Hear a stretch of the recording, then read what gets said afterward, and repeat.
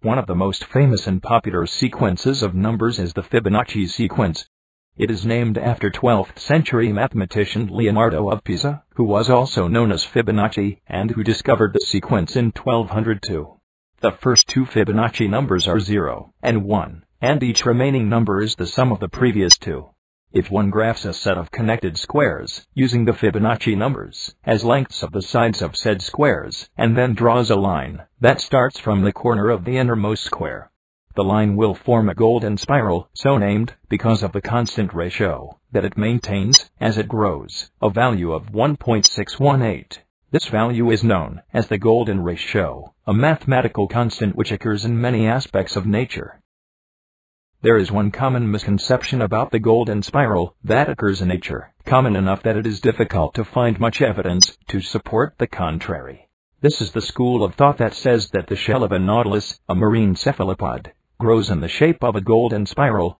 However, a small bit of research will lead one to discover that this is not the case, while the shell of a nautilus does grow in a logarithmic spiral, a term used to describe a spiral that maintains its original shape but grows in size with each successive curve, the ratio of the spiral is not 1.618. Mathematician Clement Falbo studied nautilus shells at the California Academy of Sciences in San Francisco. He discovered that their ratios ranged from about 1.24 to 1.43, averaging at about 1.33. These numbers, of course, are relatively far off from the 1.618 ratio of the golden spiral. The myth of the Nautilus shell and the golden spiral is a popular one.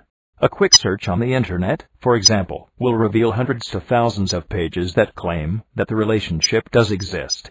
However, there are few pictures that actually contain the spiral superimposed over the shell, thus revealing that there is no connection between the two. This demonstrates yet another example of the necessity of hypothesis and the scientific method, as well as using measurements and mathematical proofs to verify one's research.